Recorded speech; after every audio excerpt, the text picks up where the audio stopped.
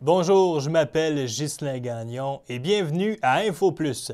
Voici ce que nous vous avons préparé pour cette semaine. La première ministre en visite à Port-Daniel-Gascon pour une annonce très importante.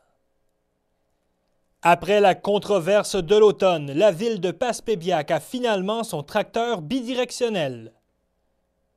On décortique aussi le budget avec le maire Paul-Arthur Blais. L'Association des proches aidantes et aidants prend forme dans la baie des Chaleurs. On s'informe sur les conditions de piste de motoneige avec Dale Fitzpatrick. Des images de la journée pré-novice à Passepébiac. Le Musée acadien du Québec à Bonaventure présente l'exposition La légende de Manac. Les artistes nous expliquent leur démarche. Et on regarde ce qui sera présenté à la salle de spectacle régionale de New Richmond. Eh bien, débutons avec la grosse nouvelle. La première ministre, Mme Pauline Marois, a effectué sa troisième visite en quelques mois en Gaspésie vendredi dernier. La dame de béton était à Port-Daniel-Gascon pour confirmer un accord de principe avec Simon Méguénis pour la construction de la cimenterie. Télévague était sur place. Les sourires étaient nombreux à la salle multifonctionnelle de Port-Daniel-Gascon pour cette annonce très attendue dans la région. Journalistes de partout au pays, élus et gens d'affaires ont rempli la petite salle du secteur de Gascon. Après son mot de bienvenue, le maire, M. Henri Grenier, a présenté la première ministre pour l'annonce officielle. Aujourd'hui, nous franchissons un pas important dans le développement économique de la Gaspésie j'ai le plaisir de confirmer la conclusion d'un accord de principe avec l'entreprise Ciment Mécanis visant la construction d'une cimenterie à Port-Daniel, Gaston, Gascon. Il s'agit d'un projet estimé à 1 milliard de dollars. L'implantation de la cimenterie entraînera la création de 2300 emplois durant sa phase de construction. Celle-ci devrait débuter au printemps 2014 et 400 emplois une fois qu'elle sera en opération, prévue pour le printemps 2016. En plus d'être créateur d'emplois, ce projet contribuera à la relance de nos exportations, en particulier vers les États-Unis. Dans le, cadre de cet accord de principe, j'annonce que par l'intermédiaire d'Investissement Québec, par l'intervention d'Investissement Québec, mon, gouvernement va travailler de concert avec Simon Mécanis et ses partenaires financiers pour concrétiser cet important investissement. Ce projet, en effet, comprend un investissement en capital action de la part de notre gouvernement de 100 millions de dollars, ce qui veut dire que nous participerons à l'investissement, et un prêt avec intérêt pouvant atteindre 250 millions de dollars, ce qui veut dire un montant total de 350 millions de dollars. La prise de participation gouvernementale sous forme d'équité permettrait au Québec de bénéficier à plus long terme des profits de l'entreprise. Ciment Mécaniste prévoit également l'exploitation d'une carrière de pierre calcaire et l'aménagement d'un terminal maritime. L'implantation de Ciment Mécaniste à Port-Daniel-Gascon est devenue possible grâce à un vaste travail d'équipe. Je tiens d'ailleurs à féliciter, à remercier tous les intervenants qui ont permis la réalisation de cet investissement majeur. J'aimerais en profiter pour souligner la présence de M. Laurent Baudouin, un entrepreneur visionnaire au parcours exceptionnel, qui a contribué à bâtir le, Québec moderne et qui continue d'inspirer nos jeunes gens d'affaires. L'arrivée de Simon Mécanis en Gaspésie est aussi le fruit de mesures que nous avons mises de l'avant dans le cadre de notre politique économique priorité emploi. Tout comme l'implantation prochaine d'une nouvelle usine de l'entreprise espagnole Ferro Atlantica, un investissement dans ce cas-là de 375 millions de dollars qui créera plus de 300 emplois au Québec. Mais le résultat d'aujourd'hui, c'est surtout celui d'un gouvernement qui pose des actions concrètes pour créer des emplois en Gaspésie, pour stimuler l'économie de la région en soutenant les investisseurs privés, nos développeurs. Un gouvernement qui croit profondément au potentiel de la Gaspésie, de ses richesses et surtout au talent de ses travailleurs. Je tiens à saluer particulièrement les contributions de, Gaston, de Gaëtan Lelièvre pardon, comme ministre responsable de la région et de Sylvain Roy, qui fait partie des meilleurs ambassadeurs sur qui la Gaspésie peut compter. Je peux vous l'assurer. Votre travail exceptionnel a contribué à la réalisation de ce grand projet. Vous pouvez en être très fiers. En terminant, je félicite de nouveau Simon Mécanis pour la mise en œuvre de ce projet visionnaire et je vous souhaite le meilleur des succès. Plus d'emplois en Gaspésie, des entreprises qui exportent notre savoir-faire, des régions plus prospères. C'est ça, un Québec plus fort. Merci beaucoup. La première ministre était accompagnée de son ministre des Régions, M. Gaétan Lelièvre, et du député de Bonaventure, M. Sylvain Roy. On retrouvait aussi à la table le président et chef de la direction de la Caisse de dépôt et placement du Québec, M. Michael Sebia, le PDG de Simon Méguénis, M. Christian Gagnon, ainsi que le président du groupe Baudier, M. Laurent Baudouin. Aujourd'hui, je suis donc très fier d'annoncer qu'au cours des deux prochaines années, nous allons procéder à la construction d'un complexe cimentier ultramoderne, ici même à Port-Daniel Gascon, et à la mise sur pied de la nouvelle compagnie de ciment mécanisme. Cet investissement qui apportera des retombées majeures dans la région sera réalisé par un groupe d'investisseurs privés chevronnés, incluant la Caisse de dépôt et de placement du Québec et en partenariat avec le gouvernement du Québec vous pouvez être assuré que nous ne ménagerons aucun effort pour faire un succès retentissant de cet ambitieux projet qui fera la fierté de tous pour plusieurs décennies à venir. Je tiens à souligner que le support de la population locale a été un élément décisif et nous en sommes très reconnaissants. À la fin de la conférence, la préfète de Rocher-Percé, Mme Diane Leboutillier, a fait sourire le public lorsqu'elle a cité Mme Bolduc. Madame Marie Traverse, originaire de Newport, dite la Bolduc, a chanté dans les années 1930, lors de la crise économique, le refrain suivant. Ça va venir, puis ça va venir, mais décourageons-nous pas. Eh bien, nous y sommes arrivés. On a aussi appris lors de la période de questions que le montage financier n'était toujours pas terminé, mais que tout de même une pelletée de terre officielle serait prévue ce printemps. La version intégrale de la conférence de presse sera diffusée sur nos ondes la semaine prochaine. Maintenant, on fait un suivi sur la légère controverse entourant l'achat d'un tracteur bidirectionnel à Passepébiac cet automne. On rappelle que dû au vieillissement de leur souffleur, le Conseil de la Ville avait proposé en septembre une résolution pour l'achat de la machinerie au coût de 175 000 incluant les équipements. En octobre, 338 sur 2886 électeurs ont signé le registre contre le règlement d'emprunt. Le maire de Passepébiac, M. Paul-Arthur Blais, nous explique les démarches entreprises suite à ce rejet, puisque depuis peu, on peut voir euh, un tout nouveau tracteur sillonner les routes de la ville. Donc, qu'est-ce qui, nous reste à faire? C'est de dire, bon, il y avait quand même une résolution, il s'agissait de, disposer, donc le Conseil devait disposer de cette résolution-là, à savoir l'abroger, c'est-à-dire la retirer et ne plus jamais en parler, ou encore, finalement, euh, revenir dans un autre contexte où euh, le signal était de dire, bon, on va en référendum. Mhm.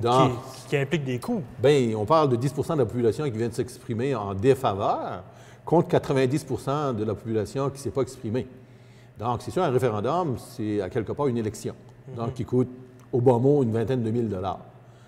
Bien sûr, le nouveau conseil, on s'est dit, bon, on ne va pas injecter 20 000 dollars sur un référendum, alors que pour une facture de 175 000 dollars maximum. Donc, euh, on a attendu. Et le temps nous a rattrapés parce que ce qu'on avait quand même projeté, puis ce qu'on on, projetait sur nos vieux équipements en disant ça va céder un jour, bien, durant la période des fêtes, justement, un des souffleurs a cédé. Le moteur a réellement cédé. Et euh, on reste avec un seul souffleur, finalement, qui est toujours euh, des années 77. Qu'on pousse à fond. Qu'on pousse à fond. Bien, on n'a pas le choix, on n'a qu'un. Donc, euh, euh, ça nous amène finalement à- en situation d'urgence. Le besoin était là. Et Réellement, il- oui, un besoin, mais un besoin urgent. Et on a, on a revu finalement aussi l'équipement. Ça nous a permis de dire, bon, est-ce que c'est réellement le bon équipement? Et les gens nous questionnaient en disant, bon, êtes-vous sûr que c'est le bon équipement? Bon, on est allé voir finalement des contracteurs qui n'avaient. On, est- on est, on est allé finalement euh, de, de- de- de notre propre vision voir, voir travailler. On a rencontré aussi le CEGER, euh, qui est finalement euh, le centre d'équipement roulant euh, du ministère, qui nous conseille aussi que ce sont des équipements euh, à la fine pointe puis à jour, puisque réellement ce que ça représente au nid pour nous, c'est-à-dire en termes de besoins, c'est un équipement polyvalent. Pour faire une histoire courte, on en est là. L'urgence fait en sorte qu'on y va. On, a passé une résolution d'ailleurs à notre, à notre assemblée de, janvier. Et en, premièrement, on a abrogé, on a retiré la résolution qu'on devait retirer. Et on est allé finalement sur une résolution d'un crédit bail, c'est-à-dire que c'était c'était le, plus, euh, le plus rapide possible d'avoir un tracteur dans l'espace d'une semaine, ce qu'on a, qui actuellement il, il est entré, il a commencé à opérer d'ailleurs. Et ce crédit bail-là, euh, ça nous permet finalement de le louer pour une année. OK. On l'a loué. Ça coûte combien par année? Ça, ça nous coûte, ça va nous coûter 30 000 pour la location de cette année, euh, alors que, puis on a dû l'inclure dans le budget d'opération, ce qui nous dérange un peu parce que normalement, on, aurait mis environ 15 000 C'est ça, on est perdant avec la location. là. Bien, ça va nous coûter environ 6 000 de plus si on achète le tracteur à la fin de l'année. Un argument avancé par l'opposition était que ce n'était pas à l'ancien conseil, mais à celui d'après-élection de prendre cette décision, ce que rejette M. le maire. C'est un peu faux de- de- de- de- de- de- de- d'avoir d'avoir soulevé finalement cette dimension-là. Lorsqu'un conseil est élu, il est élu au moment qu'il est assermenté, c'est-à-dire on est assermenté en novembre, après l'élection, donc pour nous c'est le 11 novembre, ça a été la même chose pour l'ancien conseil, et jusqu'à finalement la sermentation du nouveau conseil. Donc, et, et il n'a pas juste la, la responsabilité, il a le devoir euh, de prendre des décisions qui, qui- qui- qui s'imposent. Et c'était une décision qui s'imposait dans le temps. Donc, il appartenait à l'ancien conseil de prendre cette décision-là en toute légitimité.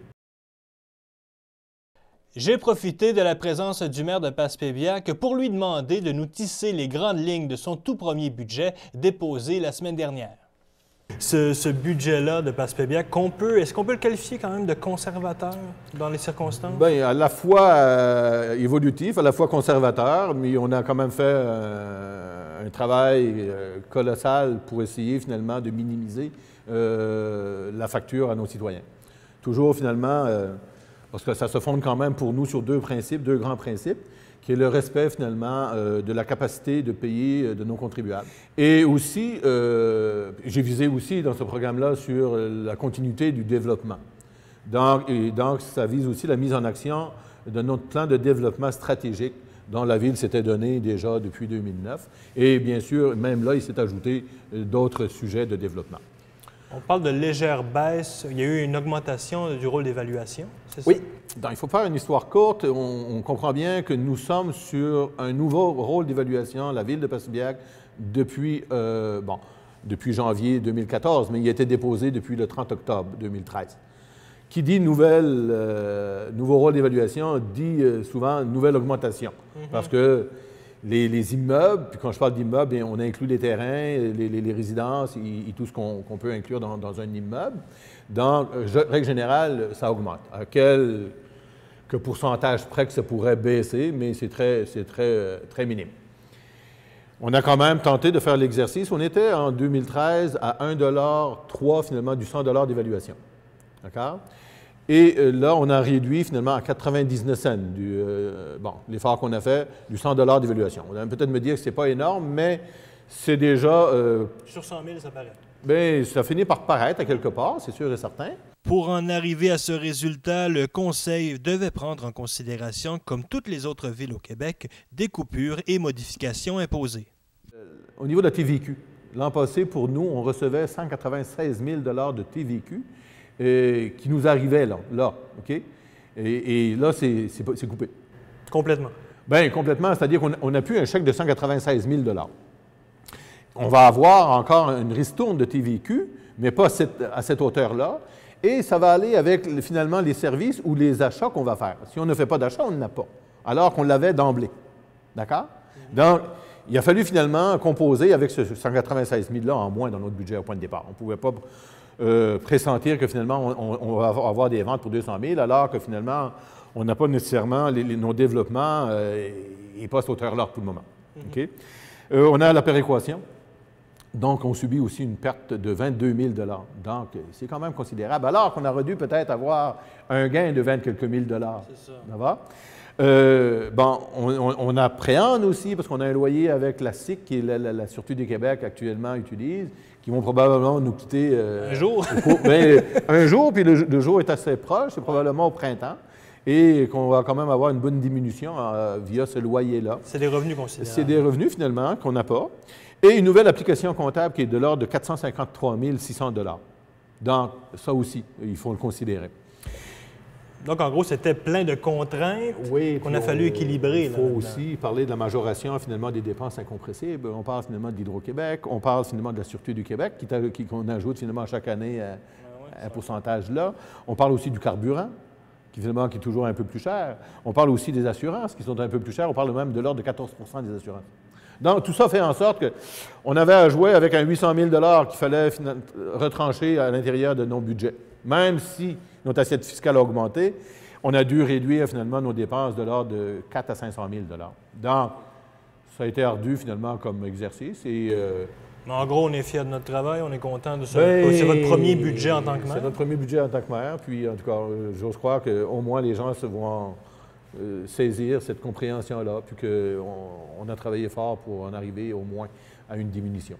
M. Blais, merci beaucoup pour ces éclaircissements-là. À moi de vous remercier. Merci. À la prochaine. Avec le vieillissement de la population gaspésienne, les besoins d'information et de répit pour les proches aidants se font de plus en plus sentir. Pour mieux connaître le rôle de l'Association des proches aidantes et aidants de la BD Chaleur, j'ai discuté avec France Leblanc chez Femmes en Mouvement. On est chez Femmes en Mouvement à Bonaventure avec France Leblanc. Bonjour, Mme Leblanc. Bonjour. C'est un plaisir de faire votre rencontre. Une nouvelle intervenante, c'est toujours plaisant. Bien, merci. Euh, on est ici pour parler de l'Association des proches aidantes et aidants de la BD Chaleur. Bon, on est chez Femmes en Mouvement, mais vous chapeautez aussi cet organisme-là. Euh, oui, c'est parce qu'au départ, euh, l'association, il faut penser qu'ils n'ont pas d'accréditation encore. On commence, c'est tout jeune. L'association, ça a un an. Il n'y a pas de permanence encore là, à l'association. Fait que nous, vu qu'il y avait des demandes d'aide, il y avait les gens, je veux dire, en parlent beaucoup puis ils en ont beaucoup besoin. Mhm. Donc nous, on, a, on, est comme le tuteur, si tu veux. On aide l'association à prendre son envol, on aide le, conseil d'administration à installer, organiser des activités. Et cette association-là, bon, proche aidante, proche aidant, pourquoi on en a besoin? C'est né d'un besoin, justement? Oui, c'est parce que là, euh, je dirais un an euh, et plus, il y a eu euh, des groupes de femmes, quelques femmes qui, ont, qui, sont venues à Femmes en mouvement, puis ils ont commencé à jaser ensemble. Puis on dit, ben on vit la même situation. On a un proche à la maison malade. Puis il euh, ne faut pas oublier que ce n'est pas juste des personnes âgées. Mm-hmm. Il y a des parents ici, il y a des, des, des, femmes avec leurs conjoints malades, des hommes avec leurs conjointes malades, et il y a aussi des parents malades. Donc, c'est vraiment à large, là. Et euh, alors là, ben c'est ça, ils se sont rencontrés ici, puis là, ils se disaient on vit la même problématique, euh, on aimerait ça se rencontrer. Donc, on a commencé à faire des dîners avec elle. Puis, euh, ça a duré un bon, un bon, bon, bon, bon temps, oui. Ah Puis là, mais après ça, finalement, bien, ils ont dit, bien, pourquoi pas qu'on montrait un, organisme communautaire pour venir en aide aux proches aidants. Fait que là, les démarches sont enclenchées tranquillement, pas vite, c'est quand même assez long. Et ça a vu le jour avec l'Assemblée générale annuelle l'année passée. Donc, on a formé l'Association des proches aidantes et aidants euh, de la BD Chaleur. Euh, est-ce que c'est un soutien? Parce qu'il y a d'autres organismes là, qui ont été créés, euh, d'autres, certains plus réglementés que d'autres. est-ce qu'on donne de l'argent? Est-ce que c'est des services, du réseautage, de l'appui? Qu'est-ce qu'on donne aux Bien, principalement, là, présentement, c'est sûr qu'on donne des activités. OK? Des activités de sensibilisation, d'éducation populaire. Mais à long terme, l'association quand il va y avoir quelqu'un de permanent qui va travailler avec des intervenants, ils vont, vont donner du service, de l'accueil, de l'écoute, du service, comme ça. Euh, ça va se développer euh, tranquillement, pas vite. Mais là, comme que je disais tantôt, on ne peut pas faire ça parce que moi, je travaille à temps plein à faire mon mouvement. Mm-hmm. Fait que je donne, on donne de notre temps à l'association pour qu'elle vole de ses propres ailes. On est en train de créer le tout. On commence, on est en train de faire la fondation de l'organisme. Euh, justement, les activités, il y en a plein là, qui vont se dérouler euh, bientôt là, pour Oui. justement informer les gens. Mais là, on a commencé avec des soupers rencontres. Donc, va avoir. L'association est toujours MRC Bonaventure et MRC Avignon.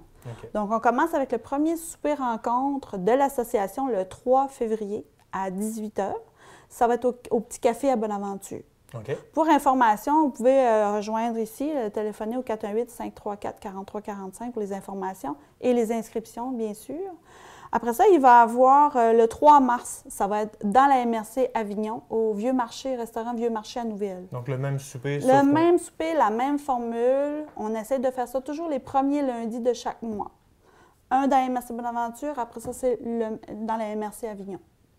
Après ça, on va avoir une séance d'information sur les impôts, les crédits d'impôts, Toujours utile, ça, savoir. pour, strictement pour les proches aidants avec euh, tout ce qui, ce qui euh, fait en sorte qu'ils ont droit à des crédits puis que des fois, ils ne savent pas. Mhm. Donc, on en donne deux, bien évidemment. Donc, le 10 de février, euh, ça va être dans la MRC Avignon à Centrelle, à Saint-Omer. Et le 12 février, ça va être ici à Femmes en Mouvement. euh, puis c'est 18h30 tous les deux.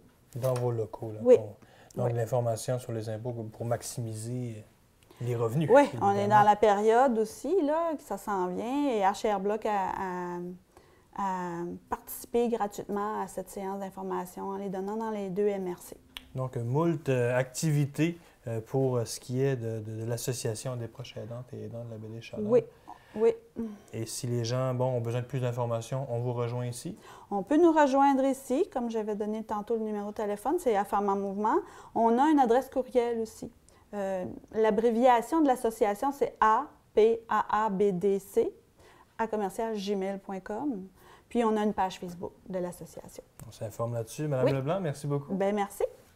Les dernières bordées de neige font la joie des motoneigistes qui bénéficient maintenant de conditions de piste optimales. J'en ai jasé avec Dale Fitzpatrick au Sentier Blanc. Monsieur Fitzpatrick, comment ça se passe cette année dans les sentiers? Euh, ça se passe très bien cette année. Euh, on a eu de la neige de bonheur au mois de décembre, euh, euh, fait qu'on a eu de la pluie par après, fait que ça a fait que les chantiers ont resté beaux à cause de la neige puis le froid qu'on a eu au mois de décembre. Mais cette semaine, avec la neige qui est tombée tout autour de Gaspésie, dans le Bas-Saint-Laurent, on est bien contents. Puis les chantiers, d'après moi, ils vont être bons pour tout l'hiver. L'an passé, c'est une toute autre saison. Comment ça s'est passé pour vous? Et est-ce que vous pensez que ça a une influence sur cette année? A une influence sur cette année, oui, de l'année passée, le Bas-Saint-Laurent, puis euh, qui a été fermé quasiment tout l'hiver. Puis euh, ici en Gaspésie, Bonaventure puis New Richmond, les sentiers n'ont pas été ouverts même tout l'hiver. Fait que quand tu fais pas le tour de la Gaspésie, euh, le touriste souvent ne viennent pas. Fait que cette année, on s'est aperçu sur la vente de cartes un peu d'extérieur. Ils attendent à la dernière minute pour acheter des cartes, voir s'il va y avoir de la neige en Gaspésie. Fait que ça fait deux ans qu'on a de la pluie, fait que ça aide pas. Fait que la neige qu'on a eue cette semaine, euh, c'est bienvenu. C'est toujours plaisant pour vous dans les clubs quand il se met à neiger. Ben oui, c'est ça. Puis là, on a eu une belle tempête cette semaine, puis euh, je pense que ça va continuer comme ça. Je pense pas qu'il annonce de pluie euh, dans les prochaines semaines, fait que c'est c'est positif. Vous parliez de faire le tour de la Gaspésie un peu plus tôt durant la saison. Bon, il y a eu une, une petite grogne du côté des motoneigistes concernant bon, le chemin de Murdochville, la 597. C'est quoi la situation maintenant? Là? Ça s'est résorbé? Oui, là, ça a été arrangé. La 597, c'est qu'il y a une coupe de bois dans le début de la 597, de Grande-Rivière, aller jusqu'à ce qu'on appelle euh, le cotillage du 143. Euh, ce sentier-là est ouvert présentement par les, les trocs de bois. Fait que l'alternative qu'on a faite, c'est qu'on a. Il y a un autre sentier, un autre chemin qu'on appelle le chemin de pèlerin qui n'est pas ouvert durant l'hiver. Fait que on va prendre ce sentier-là qui va partir de Chandler, qui va monter dans Pèlerin, puis il va sortir dans le milieu de la 597. Fait qu'à la place d'arriver sortir, à- arriver à Grande-Rivière, quand tu vas partir de Murdochville, tu vas arriver à Chandler. Mais c'est un chemin qui n'est pas ouvert l'hiver, c'est un beau sentier, un sentier qui est vite. Fait que là, on va avoir accès à Murdochville par la 597. Est-ce qu'il y a des changements? Est-ce qu'on est perdant là-dedans? Est-ce qu'on y perd au change ou c'est, on se débrouille bien là-dedans pareil? D'après moi, on se débrouille bien. La seule différence, c'est qu'à Grande-Rivière, ben, ça sortait là plus le sentier pour, pour- pour le club ou des, des fois les alentours. Là, ça va sortir à Chandler. Mais on n'a pas vu grande différence encore jusqu'à date, vu que le tourisme commence présentement en fin de semaine. là. Et bon, si les gens veulent justement s'informer sur la condition des sentiers ou les diverses activités, où est-ce qu'on va?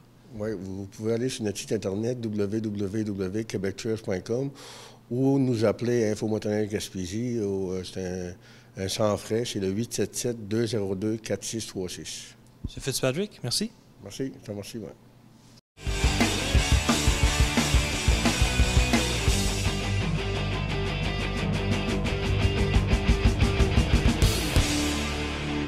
Cette semaine au sport, je me suis rendu à l'aréna de Passepébiac pour la journée pré-novice.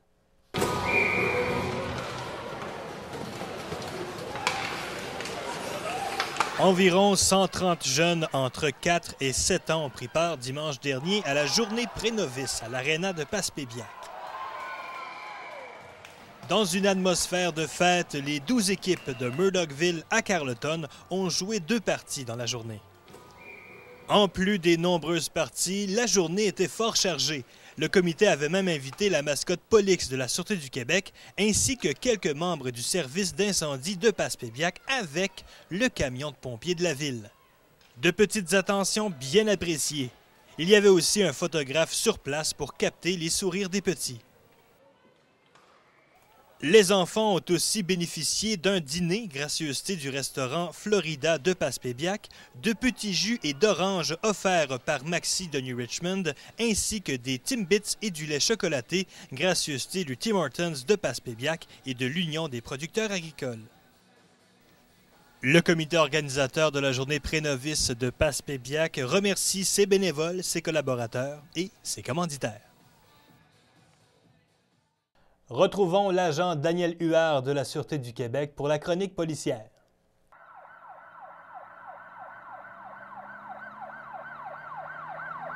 Bonjour et bienvenue à votre chronique policière concernant l'actualité des postes de New Carlisle et Parbeau.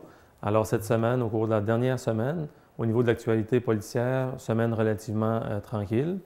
Alors euh, sans plus tarder, au niveau de New Carlisle, nous avons deux collisions matérielles survenues une à Passepébiac et une à Saint-Godefroy. Au niveau des collisions avec blessés, nous avons une collision euh, répertoriée à Bonaventure. On parle d'un blessé mineur. Et au niveau des conduites capacité affaiblie, on parle d'un bilan positif, c'est-à-dire aucune euh, arrestation pour conduite capacité affaiblie. Nous avons procédé à la destruction d'armes à feu, dossier ouvert à Passepébiac. Donc, ce qui est pour Passepébiac, pour New dans le fond, le secteur New ce sont les seuls dossiers que nous avons répertoriés au cours de la dernière semaine. Au niveau de Pabo maintenant, au niveau des collisions matérielles, six dossiers, deux à Chandler et pour les municipalités de Newport, Grande-Rivière, Sainte-Thérèse et Pabo-Mills, on parle d'un dossier chacun par municipalité. Un bilan positif concernant les collisions impliquant blessés dans le secteur de Pabo et une conduite capacité affaiblie dans le secteur de Port-Daniel, un dossier ouvert à Port-Daniel. Nous avons un dossier de chicane de famille, dossier euh, ouvert à Pablo Mills, sans accusation criminelle, donc l'intervention des policiers a permis de dénouer l'impasse. Nous avons procédé à l'exécution de deux mandats d'arrestation, dans les deux cas à Pabot. Un bris d'engagement pour, euh, pour, un dossier de voie de fait a été ouvert à Pablo Mills. On parle de deux dossiers de proférer des menaces. Un a été ouvert à Chandler et l'autre à Grande-Rivière. Un dossier maintenant de fraude par chèque ainsi que carte de service a été ouvert à Chandler. On parle de dossier de voie de fait sur agent de la paix ainsi qu'entrave au travail policier, dossier ouvert à Pablo Mills. Nous avons dans le secteur de Chandler un dossier de possession de méthamphétamine, possession de cannabis maintenant, dossier ouvert à Grande-Rivière. Nous avons deux dossiers concernant euh, du tabac de contrebande, donc loi sur les impôts euh, fédéral. On parle d'un dossier à, Percé et l'autre à Chandler. Nous avons l'exécution de deux mandats percepteurs. Donc, dans les deux cas, les dossiers ont ouvert à Chandler. Un dossier maintenant de fraude par carte de crédit, dossier ouvert à Percé. Un dossier de méfait public a été ouvert à Pabo. Et un dossier d'harcèlement criminel maintenant est survenu à Grande-Rivière. C'est ce qui fait le tour pour Pabo. Maintenant, je vais faire un rappel concernant ce qu'on appelle les grands excès de vitesse. Souvent, les gens nous demandent à quelle vitesse on devient un grand excès de vitesse. Alors, dans une zone de 50 km/h, par exemple, lorsque vous circulez à plus de 90 km/h, dans 40 km/h de plus, on parle à ce moment-là d'un grand excès de vitesse. Ça implique, à partir de ce moment-là, une infraction de 6 points de démérite pouvant aller jusqu'à 14 points de démérite et plus. On parle d'une suspension immédiate du permis de conduire pour une durée de 7 jours Et si vous êtes seul à bord de votre véhicule, à ce moment-là, on procède au remisage de votre véhicule. Pour ce qui est des zones de 90 km/h, on parle de 140 km/h, donc 50 km/h de plus. On parle d'une euh, infraction débutant à 10 points de démérite et pouvant aller euh, beaucoup plus que ça. On parle à ce moment-là de 680 et plus d'infraction et d'une suspension immédiate du permis de conduire. Et encore une fois, si vous êtes seul dans votre véhicule, on parle d'un remisage. Donc, c'est ce qu'on appelle les grands excès de vitesse. Rappelez également qu'au niveau des sentiers de motoneige, l'alcool au volant, c'est la même chose que si on est sur une euh, voie publique avec un véhicule. Euh, c'est les mêmes, mêmes infractions qui s'appliquent. Et rappelez aussi qu'au niveau de la Sûreté du Québec, on va être présent les prochaines semaines sur le territoire au niveau des sentiers de motoneige. Également, vous rappelez euh, une infraction qui est en cours depuis le 12, euh, euh, depuis 2012, dans le fond. on parle du fameux corridor de sécurité appliqué lorsque un véhicule patrouille fait une interception, mais ça ne s'applique pas uniquement aux véhicules patrouille, on parle également des véhicules remorqueurs, également des, des, véhicules du ministère dans le transport lorsque les flèches sont déployées. Alors, il faut effectuer un corridor de sécurité. La façon de le faire, c'est de changer de voie lorsqu'on peut le faire de façon sécuritaire. Lorsqu'on ne peut le faire, c'est-à-dire lorsque des véhicules s'en viennent en sens inverse, on doit immobiliser son véhicule. Donc, on doit vraiment créer un corridor de sécurité pour euh, protéger les gens qui travaillent au niveau de la voie publique, au niveau de la chaussée. Très important. Si ce n'est pas fait, l'infraction est de 283 et 4 points de démérite. Donc, euh, c'est une infraction qui va être prise un petit peu plus au sérieux parce qu'on s'aperçoit que ce n'est pas respecté au niveau, du territoire. Donc, euh, sur ce, je vous souhaite une bonne semaine. Soyez prudents sur nos routes et à la semaine prochaine.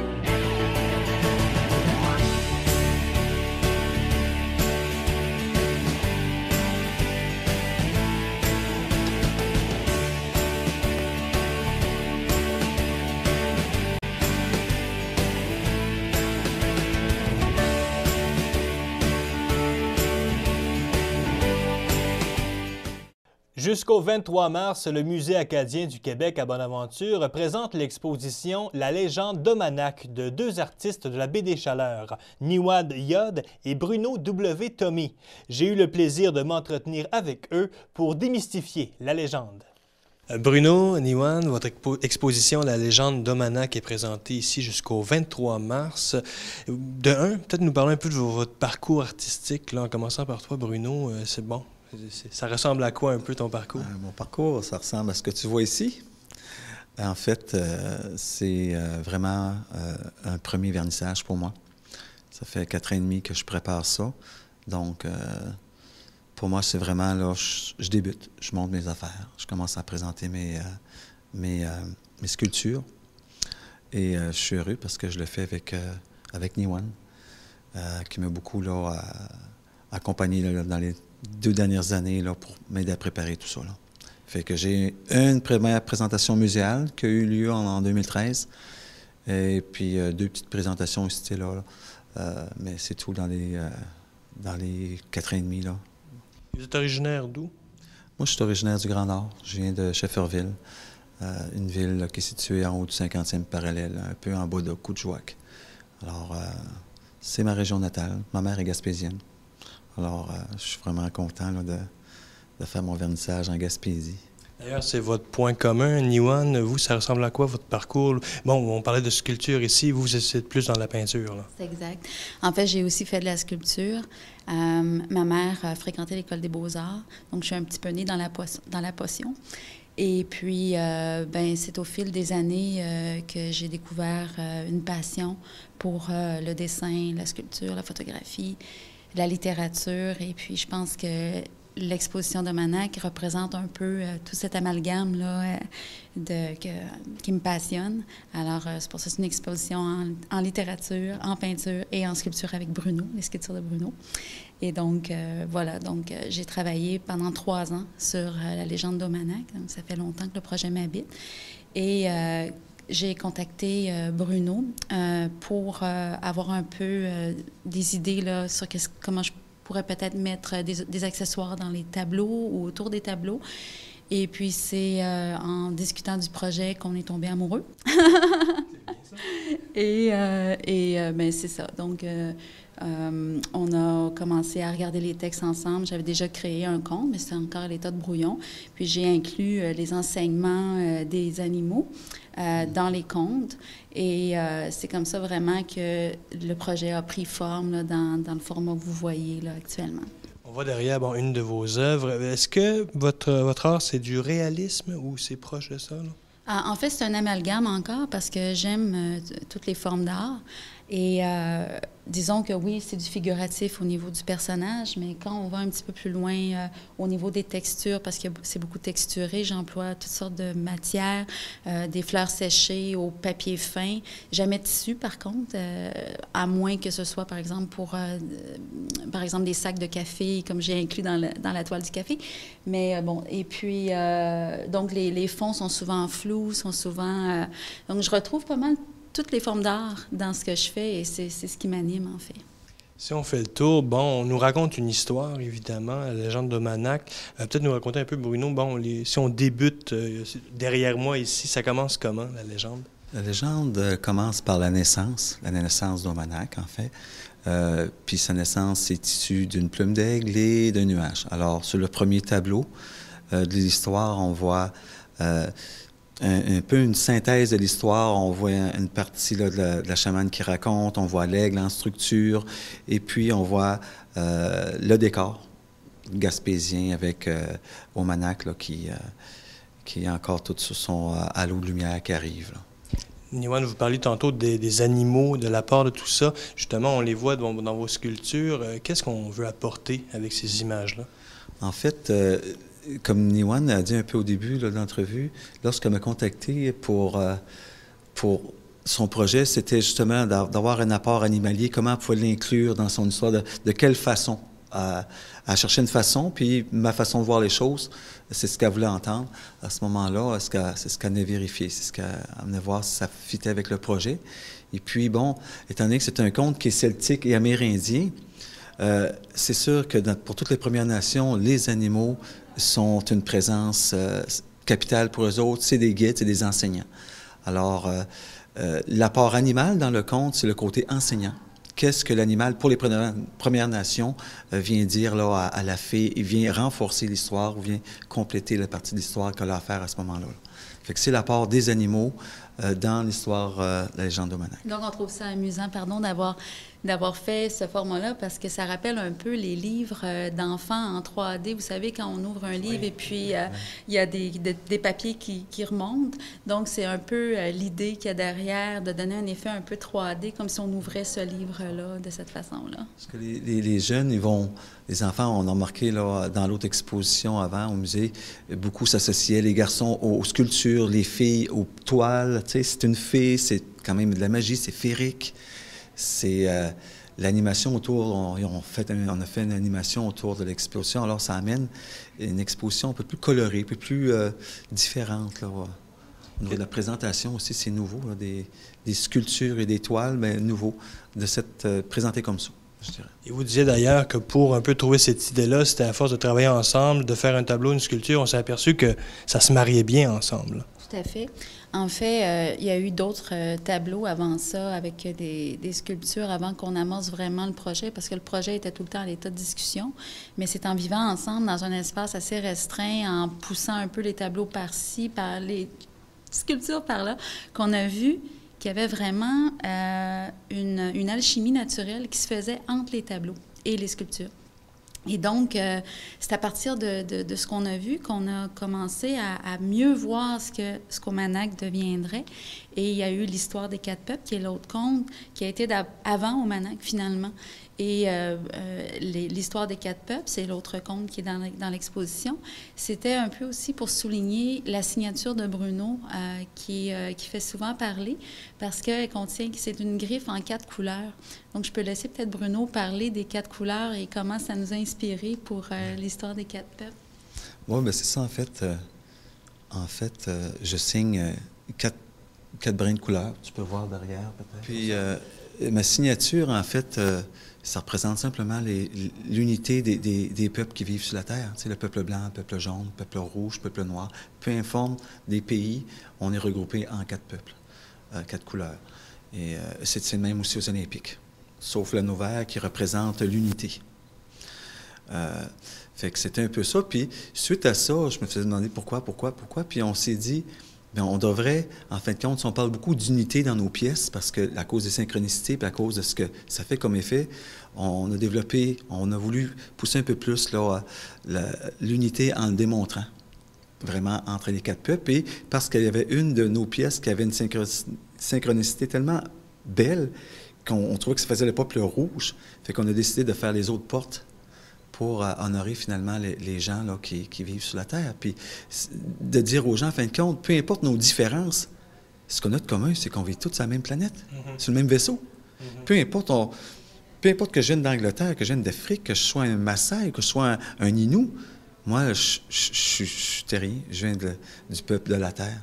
Et Alors- sur, euh, si je peux ajouter, sur, euh, pardon, sur chaque euh, couleur de terre dont on parle, il y a des animaux qui passent.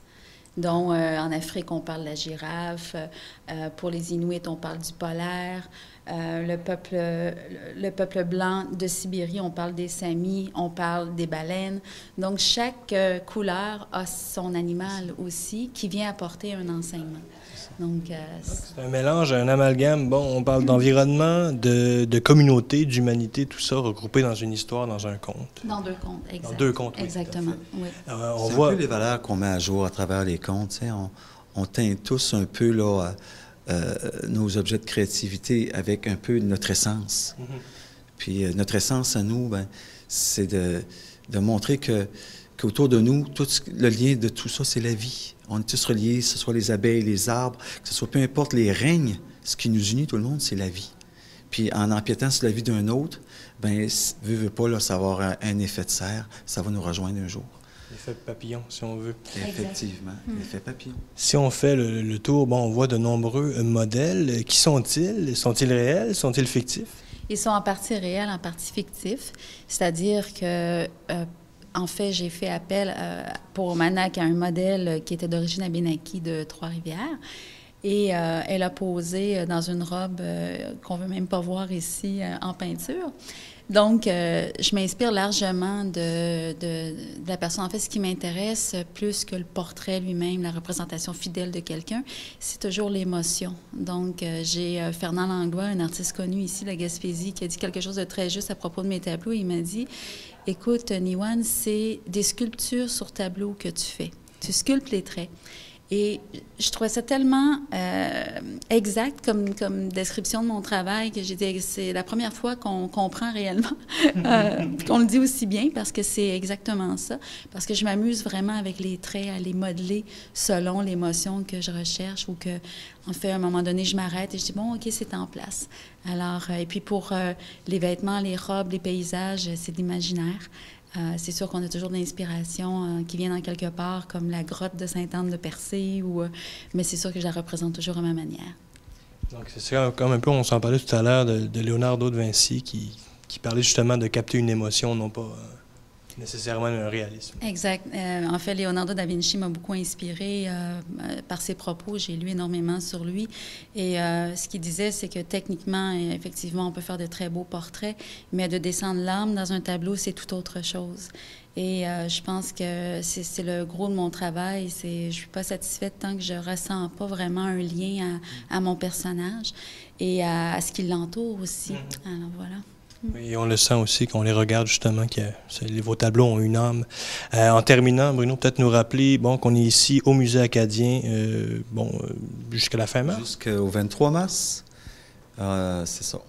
On est ici jusqu'au 23 mars. Si les gens veulent nous faire un tour, vous n'êtes pas toujours ici comme là pour, pour les accueillir. Le lancement a eu lieu la semaine dernière. Ben, Bruno, euh, Niwan, je vous remercie beaucoup pour ce temps. Et, Merci euh, beaucoup. À vous. Merci. L'équipe de Télévague est toujours à l'écoute de vos commentaires et suggestions. Vous pouvez nous les formuler par la poste au 97 route 132, casier postal 39 Saint-Godefroy, G0C 3C0. Par téléphone au 88 752 65 58.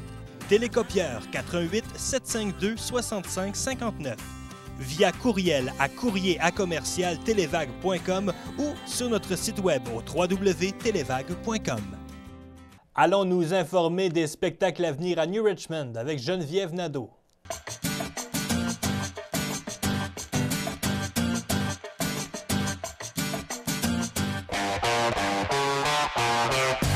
Dans le cabaret de la salle de spectacle régional Desjardins avec Geneviève Nadeau. Salut Geneviève. Salut Justin. Toujours un plaisir de te retrouver ici pour parler des très bons spectacles à l'affiche ici à New Richmond.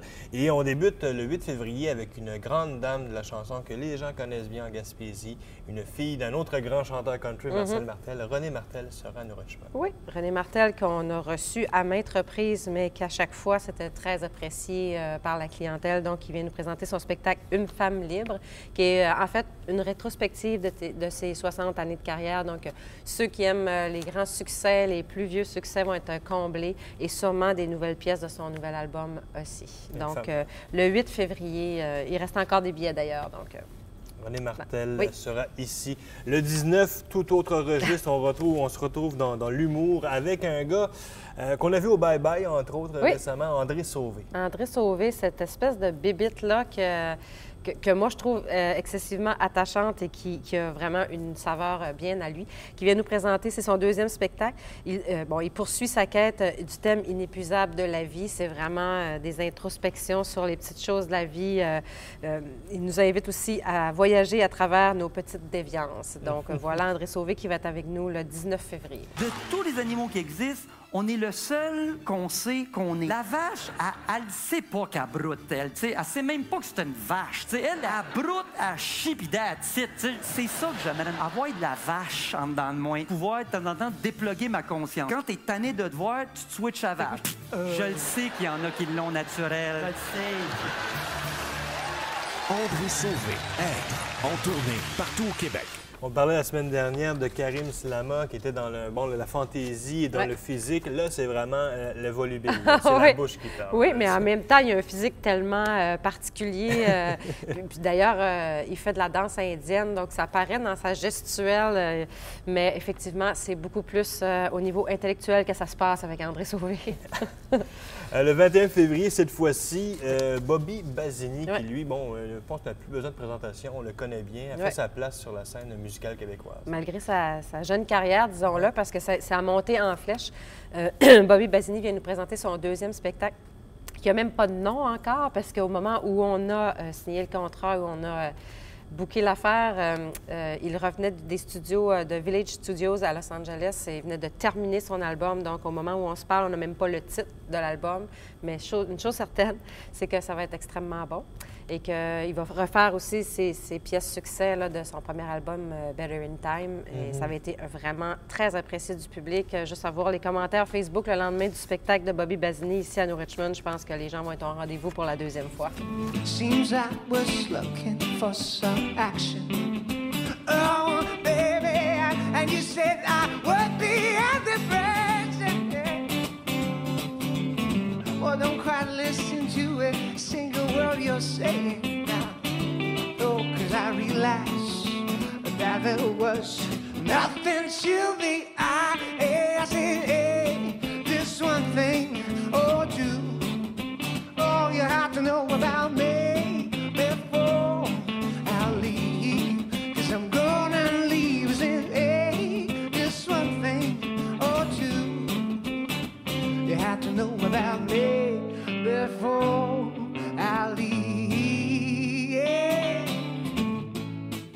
21 février, euh, Bobby Basini. Et demeurons dans la chanson deux jours plus tard. euh, ça, c'est euh, une voix Une voix un peu plus grave, un peu plus, euh, bon, euh, comment dire, pas soprano, mais euh, j'essaie de trouver le... Ah, ben, il se promène un peu parce qu'il va faire des airs d'opéra aussi. Donc, il y a un registre assez large. On parle ici de Marc Hervieux, bien entendu, son nouvel album À Napoli, qui sont essentiellement des chansons euh, italiennes, un peu euh, du répertoire euh, italien, mais aussi des airs d'opéra qui va nous faire toujours très apprécier Marc Hervieux ici.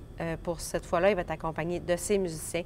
Donc, voilà, il vient nous présenter son dernier album le dimanche 23 février. Et en terminant, Geneviève, bon, dans le cinéma, là, on Oui. commence, en- on s'en va en Italie pour débuter Oui. ça euh, le 9 février. Oui, avec un château en Italie, un drame familial de Valeria Bruni Tedeschi.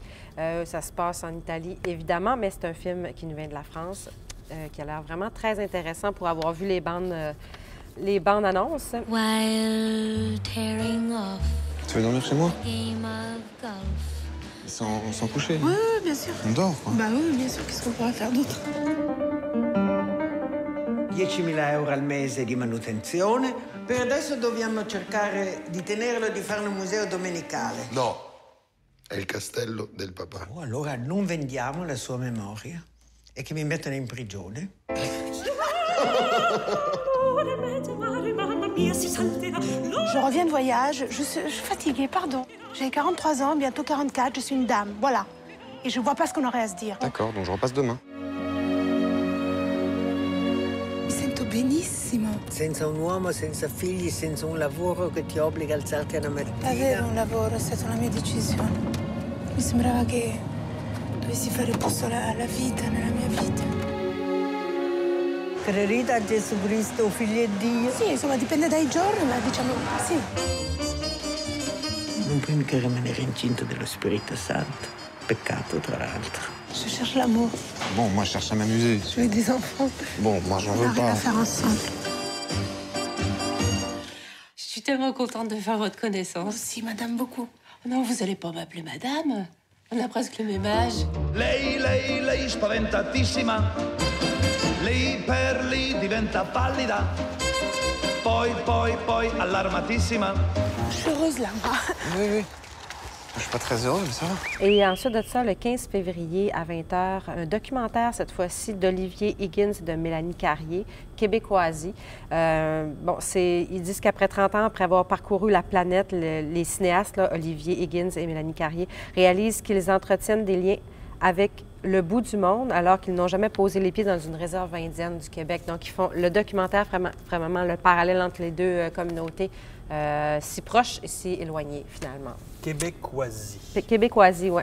Donc, c'est le 15 février. Le 15 février à 20h. C'est présenté par Cinébobine ainsi qu'un château en Italie. Donc, pour les spectacles qu'on a énumérés et les autres aussi, euh, bon, les billets sont déjà en vente. Oui. On appelle ici, ça se passe aussi par Internet. on peut Oui, faire. au www.spectaclerichmond.com. Euh, on peut acheter ses billets en ligne et euh, toujours à la billetterie au 392-4238 où on a un très bon service. Et euh, voilà, vous pouvez vous déplacer, faire ça par téléphone ou par Internet.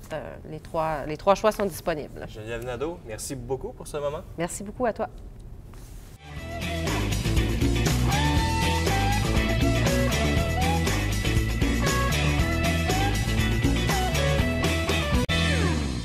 Bon, allons-y avec quelques invitations et besoins aussi. Là, on a un besoin urgent, c'est le regroupement des employeurs du secteur bioalimentaire 2011 qui a besoin de 125 nouvelles personnes pour travailler aux usines de transformation de produits marins dans les secteurs de Grande-Rivière et Sainte-Thérèse pour le 20 avril de cette année. On s'en est déjà parlé, je vous le rappelle. Alors, vous pouvez aller rencontrer les employeurs du lundi au vendredi entre 8h et 16h afin de remplir un formulaire, euh, le formulaire du registre des travailleurs. Le bureau est situé à l'école des pêches de Grande-Rivière au local 129 au premier étage.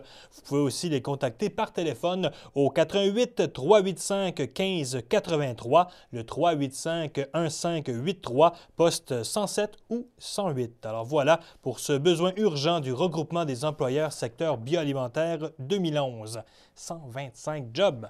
Maintenant, Marché aux puces de Bonaventure, on tient euh, sa vente euh, d'hiver jusqu'au 22 février. Ça, ça veut dire 50 sur tous les vêtements hivernales ou un sac vert à 5 Alors voilà pour le marché aux puces de Bonaventure. Il y aura un bingo cadeau le 2 février à 14h au centre communautaire de Saint-Pédis. C'est organisé par le Cercle de fermières de l'endroit.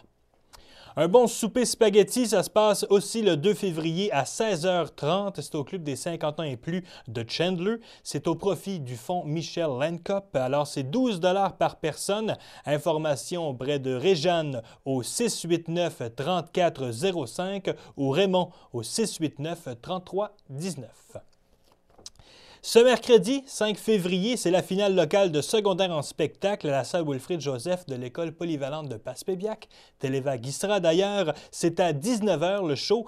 Euh, des prestations de chant, de musique ou de théâtre vous seront présentées. Il y a une vingtaine de jeunes de 12, de 12 à 17 ans qui y participent. Les billets sont en vente au coût de 8 le soir de l'événement où on peut réserver au 752 33 95 poste 1903 donc 752-3395, poste 1903. Le Club optimiste de Saint-Godefroy vous invite à son souper et à sa soirée de la Saint-Valentin le samedi 8 février à 18h. Au menu, bon, il y aura de la soupe, le jambon et dessert, musique et animation avec Ginette et Martin. Alors, c'est 15 par couvert. Plus d'infos là-dessus avec Gérard au 752 21 40 ou Jeanne d'Arc au 752 30 38. Il y aura une soirée dansante au centre communautaire de Saint-Pédis organisée par le Club des 50 ans et plus. C'est le 8 février à, 21, à 21h, oui, avec Sylvie et Marco en musique. Donc, soirée dansante à Saint-Pédis. Le lendemain, le 9, ce même club, celui de Saint-Pédis, euh, donc des 50 ans et plus, euh, on tient un bingo cadeau. C'est à 14 h, toujours au centre communautaire de l'endroit à Saint-Pédis. Donc, il y aura un après-midi amateur avec les copains le dimanche 9 février, 13h30. Ça se passe au local de l'âge d'or de Port-Daniel-Gascon.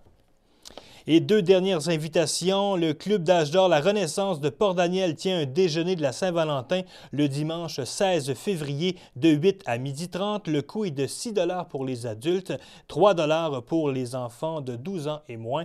Plus d'infos là-dessus au 396 2105.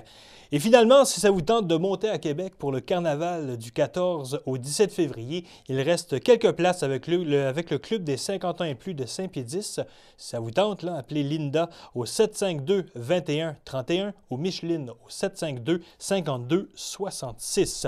Et une annulation de dernière minute, là, on vous rappelle, bon, euh, on vous rappelle, on vous annonce que la soirée dansante au centre communautaire de Saint-Pédis, celle prévue le 15 février à 21h, est annulée. Alors voilà pour vos invitations, ça conclut. Et euh, ben voilà aussi pour l'émission d'Info Plus pour cette semaine. Ce fut un plaisir pour moi et pour l'équipe de Télévac de vous présenter euh, cette émission. On se quitte avec euh, la bande-annonce du film documentaire La marche à suivre de Jean-François Casey, originaire de Saint-Omer. Le film d'ailleurs a été sélectionné pour le prestigieux, prestigieux Festival international de Berlin. Alors voilà, on se laisse là-dessus et on se retrouve la semaine prochaine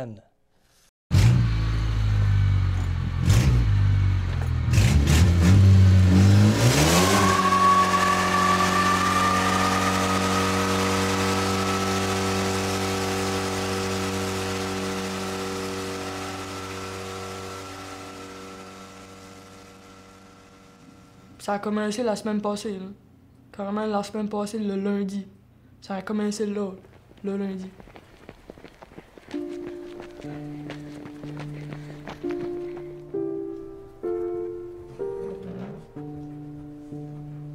À l'école, comment que ça va? Là, c'est beaucoup moins pire qu'avant, là, genre... euh, Hey, écoute ce que tu viens de dire. Beaucoup moins pire.